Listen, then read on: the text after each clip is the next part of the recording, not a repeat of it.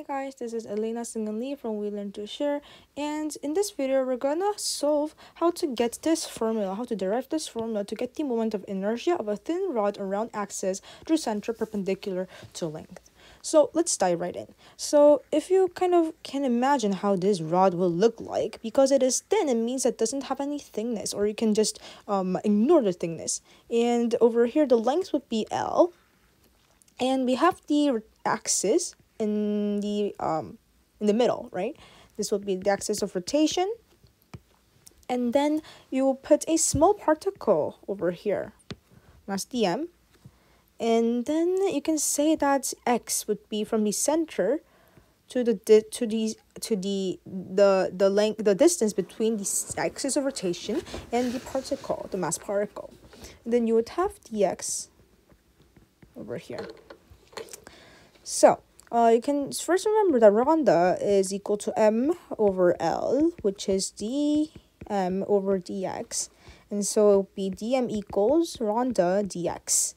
And if you take the inertia, you would have to integrate it from here to here. So imagine this being on a coordinate system, and this is the origin. Then over here would be 1 over 2 over L, sorry, and this would be also L over 2.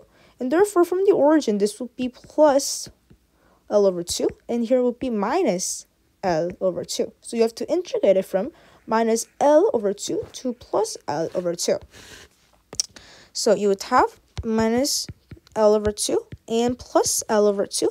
And the distance from the axis of rotation over here is, as you can see, x squared and you would have dm but remember that you can substitute this inside. So therefore you would have x squared lambda dx and you could put the constant out lambda and you would have l over 2 minus l over 2 and x squared dx and if you integrate this you would have 1 over 3x cubed and if you substitute this inside then you would have minus minus sorry cube like this and because this cancels like becomes 1 and it'll be equal to this so L cube over 12 and remember that lambda over here is equal to mass um, divided by L. I can substitute this value inside here. So it would be M over L, and you would have L cube over 12, and L cancels out, so it would be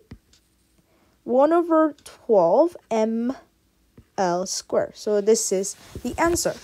Um, but before we end, let's just try to solve the moment of get the moment of inertia about a thin rod that is around through a center that is about the end. So it will look like the axis of rotation being right over here at the end.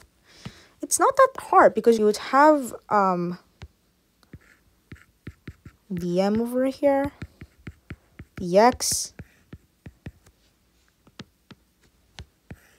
x and the whole length L. Everything is same. You can say that lambda is m over L and um, therefore dm over dx and dm equals lambda dx. And you would have um, i, but this time um, the limits would be different because now if you think of this as of a xy coordinate and this is the origin then the distance would be from 0 to L, right? So that's what you should do. You have to integrate it from 0 to L.